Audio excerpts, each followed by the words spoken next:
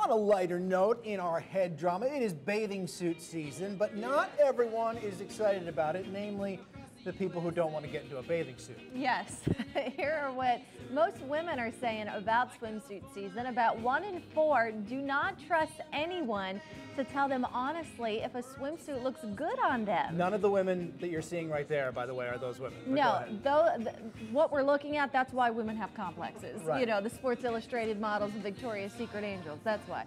43% of women would give up Facebook forever if they could have a body like a swimsuit model's. That ah. one's a given. Sure. Another 23% would give up their cell phone, but only for a year. Uh-huh.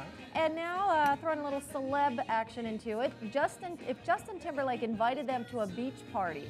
36% of women would turn him down because they don't feel that they're in good enough shape Well, to hang What- around wait, him. But that's I figured that why. That's because uh, they feel like he would uh, see them in a bathing suit, Yeah. cry them a river, and then they both drown. But here's the thing, you're a mess. He invited them to the swimsuit party in the first place, so he knows what they look like. And I know we look different sometimes in bathing suits. But honey, if Justin Timberlake thinks that you're good enough to be at the swimsuit party, you better show up. He likes he likes your sexy back. He loves your sexy think back, you and you just better go roll. and you wear a cute little cover up of your insecure. Girl, you put it all out there. Show all your No, goals. Be like, admit- hey, Justin. I will admit, I will admit for the purposes of this segment that I, as a guy, I have felt self-conscious about the way I look in a bathing suit. So I'll tell you what I do. We have What some you do? tips. I wear a wetsuit to the pool. Oh, okay, from head just- to toe? Yeah, it just fully. and that covers ladies, up give it a all imperfections. Or you can try the tips at headdrama.com. They're.